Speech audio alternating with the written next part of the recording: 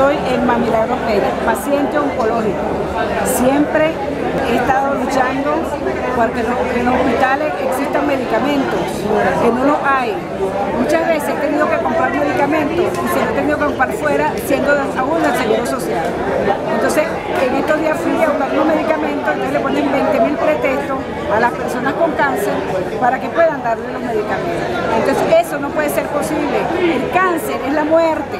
La gente tiene que darse cuenta que el cáncer es la muerte. Un país sin, salud es un país que no sirve para nada. Entonces, nosotros tenemos ni siquiera hospitales ni nada que nos puedan atender. Los médicos del oncológico son tremendos médicos, muy buenos médicos, pero ¿cómo hacen ellos? Trabajan con la uñas. Entonces nosotros queremos que este gobierno se atracte, esté pendiente de los pacientes, porque un, país sin salud, sin educación y sin justicia no es país. Perfecto, perfecto.